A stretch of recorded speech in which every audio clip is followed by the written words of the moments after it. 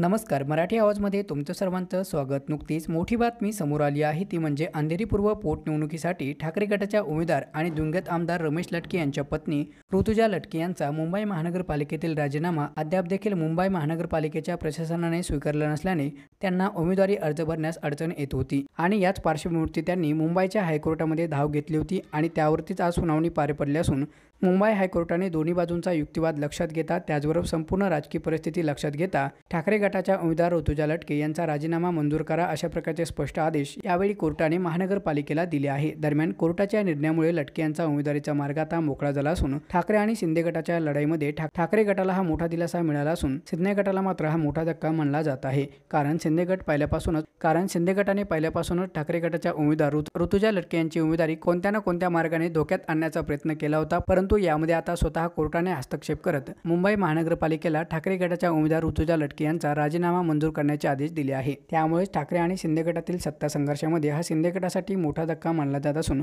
ठाकरे गटाला मात्र हा दिलासा मानला जात आहे.